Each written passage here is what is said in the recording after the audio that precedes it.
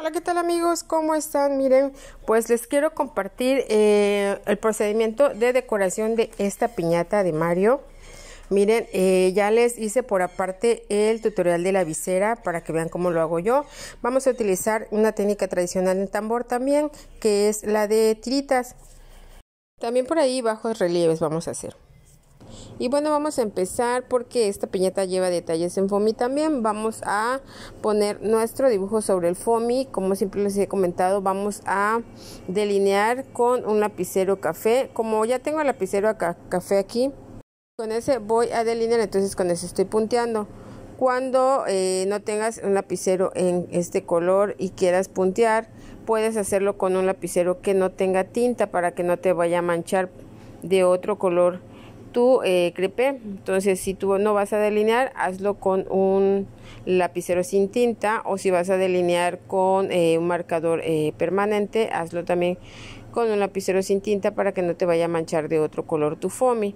Entonces, una vez que ya lo marqué, lo que estoy haciendo es que estoy remarcando otra vez, estoy engrosando esta línea y este voy a pasar mi dedito de esta forma para difuminar un poco. Esto lo puedes hacer con un pañuelito con un trapito con un algodoncito también. En esta ocasión voy a utilizar mi dedo no es mucho lo que voy a difuminar así que eh, lo voy a hacer así. Tienes que tener cuidado de que no vayas a manchar con los dedos otra parte de el foamy y así es como queda. Entonces una vez que ya eh, delineé voy a recortar dejando la línea en, eh, pues en la parte que vamos a utilizar. Vamos a sacar en eh, caple, en este caso estoy utilizando caple, reutilizando caple de una cajita de cereal. Vamos a remarcar el área del overall, que es la que vamos a trabajar en bajo relieve y lo vamos a recortar para posteriormente eh, forrarla la recortamos y bueno ya ahí vamos a tener nuestro bajo relieve. Entonces ahora vamos a trabajar en las manitos. En las manos las voy a sacar en foamy eh, escarchado pero esto también puede ser en foamy normal puede ser en cartulina también opalina lo que tengas a, mano en este color te funciona perfectamente. Lo mismo voy a puntear eh, en algunas partes para marcar en dónde va a ir la línea cuando eh, dibuje yo cada dedito y aquí no pasa nada porque recuerda este va a ir delineado con plumón permanente. Y entonces eh, pues el lápiz queda prácticamente escondido. Y el lápiz no mancha a diferencia del lapicero. Entonces vamos a delinear antes de sacar nuestra pieza. Esta es otra técnica que nos facilita bastante los acabados el eh, plumón es un plumón permanente, eh, pues ahí no importa la marca, solamente de preferencia para mí que sea permanente. Entonces aquí ya estoy haciendo esto. Estas puntadas las hice con el lápiz encima de el, del foamy para ir teniendo una referencia de dónde ir marcando cuando este, vayamos haciendo las líneas. Una vez que ya está delineada, está lista para recortar y vamos a tener cuidado de dejar la línea en la pieza que vamos a utilizar nuevamente. Y así es como nos van a quedar. Ya listas las manitas. Eh, vamos entonces ahorita a marcar sobre el tambor donde vamos a trabajar directamente la técnica que les dije, la tradicional, que va a ser en el área de las manos. Vamos a recortar tiras como de 7 centímetros, vamos a hacer nuestro eh, corte tradicional yo lo hago como de 2 de largo por eh, menos de un centímetro de ancho. Y vamos a colocarla en el área que ya marqué. Le voy a poner un poco de silicón frío, voy a, a dispersar un poco para que no quede muy amontonadito y vamos a rellenar toda el área de la camisita. ¿Ok? Así le vamos a hacer.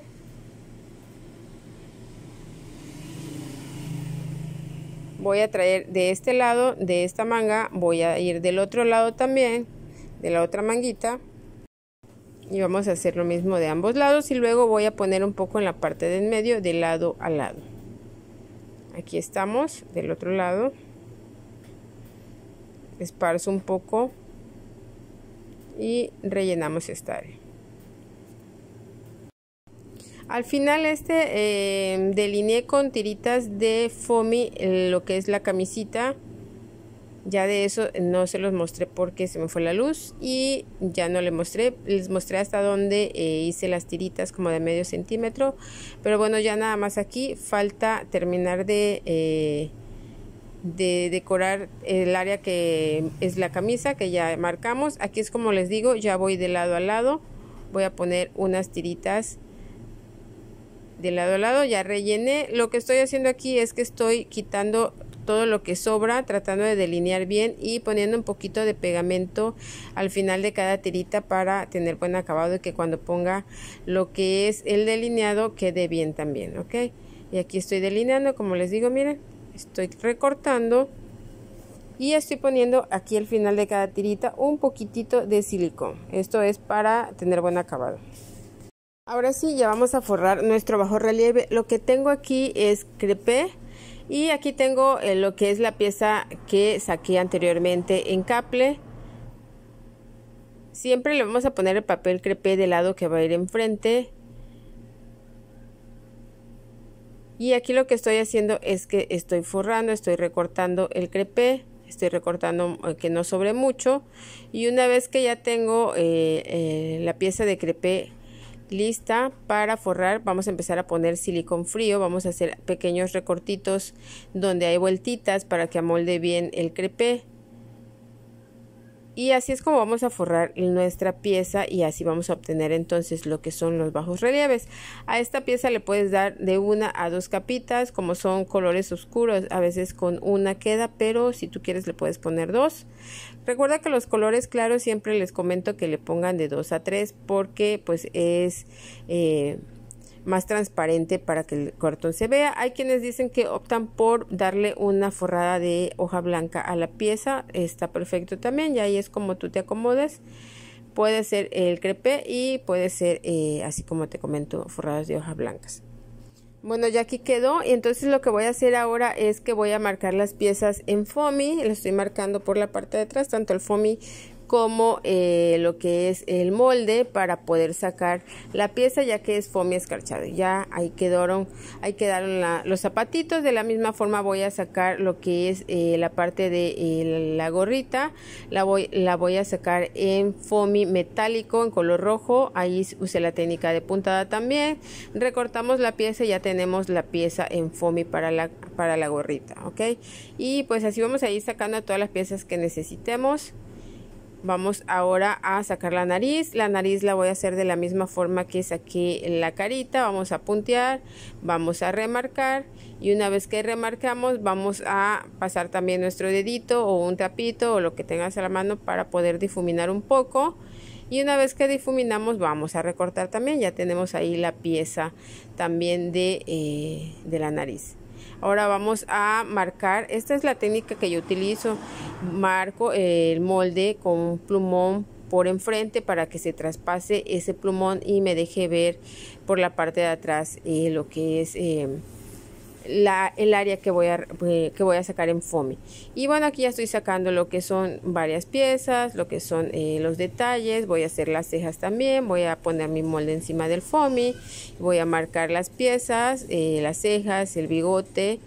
Y este es el proceso de sacar todas las piezas. Y te platico, eh, aquí en la página ya tengo también este tutoriales de los ojitos, pero de todas maneras te voy a dejar por aparte el tutorial de estos ojitos para no hacer el video tan largo. Aquí lo, lo que estoy haciendo es eh, de hojas en color café sacar lo que son las patillas, lo que es eh, parte de la decoración. Bueno, y una vez que ya tenemos todo esto, vamos a empezar ya a poner las piezas. Aquí estoy poniendo lo que es eh, los zapatos en foamy.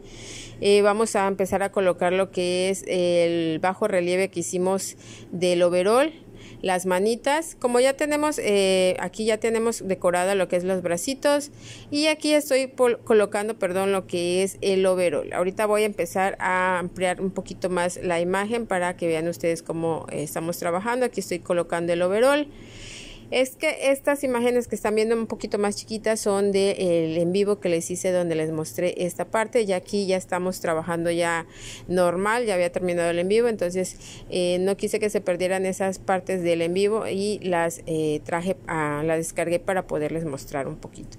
Y aquí estoy colocando ya eh, pues las patillas, ya coloqué lo que es el foamy en su lugar, cada pieza, la gorrita, el tutorial de la visera, o sea de cómo hago para que la visera quede eh, durita, ya está aquí en la página también.